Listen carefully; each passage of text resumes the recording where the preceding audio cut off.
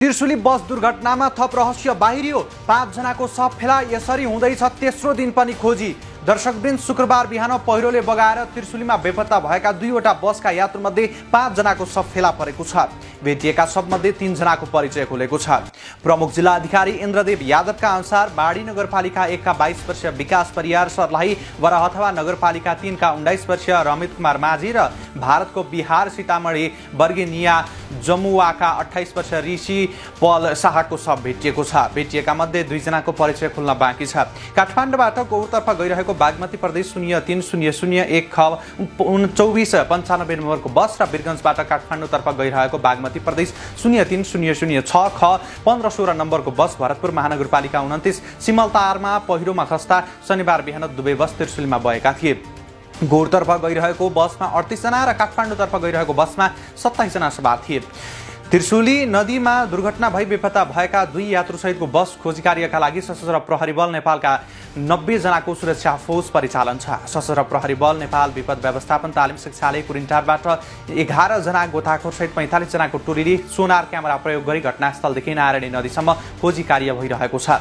त्यस्तै अर्को सर्च टोलीले यसअघि प्रयोग भएका विभिन्न डिभाइसहरूको प्रयोग गरी घटनास्थलदेखि एक किलोमिटर तल तथा भरतपुर महानगरपालिका सोह्र स्थित देवघाटदेखि ज्ञानेश्वर सामुदायिक वनसम्म खोजी कार्य गरिनेछ। त्यसै गरी नम्बर सत्र गण चितवनबाट एघारजना विपद व्यवस्थापन तालिम प्राप्त सहित पैँतालिसजनाको सुरक्षा फौज घटनास्थलदेखि चालिस किलोमिटर तल गोलाघाटसम्म ऱ्याफ्टिङ बोट र नदी किनारमा पैदल गस्ती गर्दै खोजी कार्यका लागि परिचालन गरिएको छ। अविरल वर्षाका कारण नदीमा आएको भेल र धमिलो पानी गर्दा सोमबार अविरल वर्षाका कारण नदीमा आएको भेल र धमिलो पानीले गर्दा सोनार क्यामेरा र अन्य डिभाइसहरूको प्रयोग गर्दा समेत बेपत्ताको खोजी कार्य गर्न असहज भएको छ। यी डिभाइसहरूले सफा पानी तथा ताल र पोखरीमा जमेको पानीमा खोजी कार्यका लागि प्रयोग गरिन्छ। असार उन्तिस गते बेपत्ता भएको बस तथा यात्रुको खोजीका लागि खटिएको सुरक्षा फौजले तीनवटा सब फेला परेको थियो। खोजी कार्यमा नेपाली सेना र नेपाल प्रहरी समेत परिचालन भएका छन्।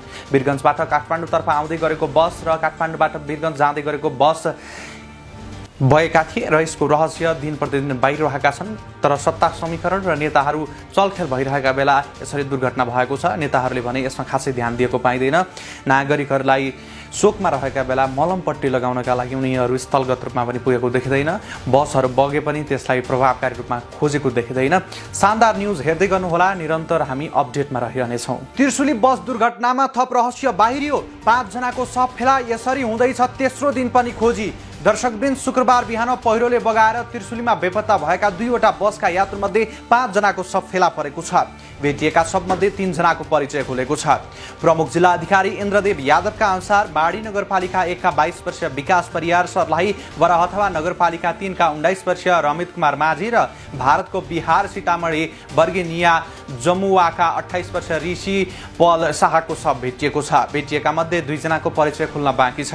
काठमाडौँबाट गौरतर्फ गइरहेको बागमती प्रदेश शून्य तिन शून्य शून्य एक ख चौबिस पन्चानब्बे नम्बरको बस र वीरगन्जबाट काठमाडौँतर्फ गइरहेको बागमती मध्य प्रदेश शून्य तिन शून्य शून्य छ ख पन्ध्र सोह्र नम्बरको बस भरतपुर महानगरपालिका उन्तिस सिमलतारमा पहिरोमा खस्दा शनिबार बिहान दुवै बस त्रिशुलीमा भएका थिए।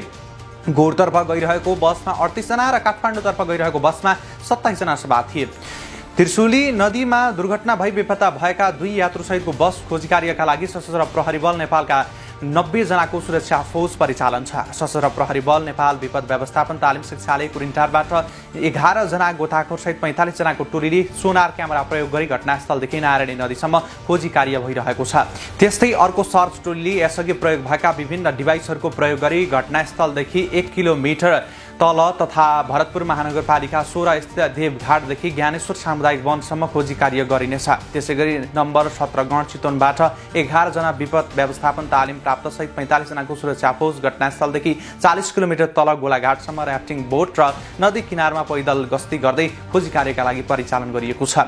अविरल वर्षाका कारण नदीमा आएको भेल र धमिलो पानी गर्दा सोमबार अविरल वर्षाका कारण नदीमा आएको भेल र धमिलो पानीले गर्दा सोनार क्यामेरा र अन्य डिभाइसहरूको प्रयोग गर्दा समेत बेपत्ताको खोजी कार्य गर्न असहज भएको छ। यी डिभाइसहरूले सफा पानी तथा ताल र पोखरीमा जमेको पानीमा खोजी कार्यका लागि प्रयोग गरिन्छ। असार उन्तिस गते बेपत्ता भएको बस तथा यात्रुको खोजीका लागि खटिएको सुरक्षा फौजले तीनवटा सब फेला परेको थियो। खोजी कार्यमा नेपाली सेना र नेपाल प्रहरी समेत परिचालन भएका छन्। वीरगन्जबाट काठमाडौँतर्फ आउँदै गरेको बस र काठमाडौँबाट वीरगन्ज जाँदै गरेको बस भएका थिए र यसको रहस्य दिन प्रतिदिन बाहिर रहेका छन्। तर सत्ता समीकरण र नेताहरू चलखेल भइरहेका बेला यसरी दुर्घटना भएको छ। नेताहरूले भने यसमा खासै ध्यान दिएको पाइँदैन।